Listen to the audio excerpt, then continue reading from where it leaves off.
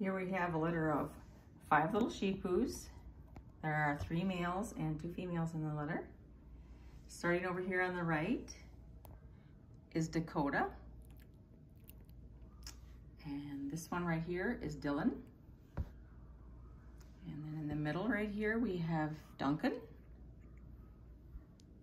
And this little black one is a female. This is Diva. And the little brown and white one on the end here is a female. This is Dora. They will be eight weeks old on September 21.